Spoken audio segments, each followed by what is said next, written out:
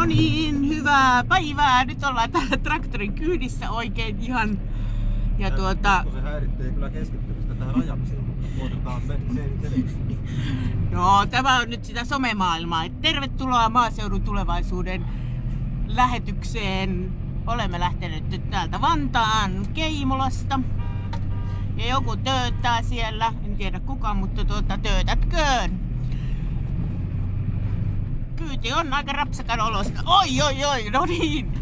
Mutta tuota, yritetään säilyä hengissä Senaatin torilla asti. Heippa!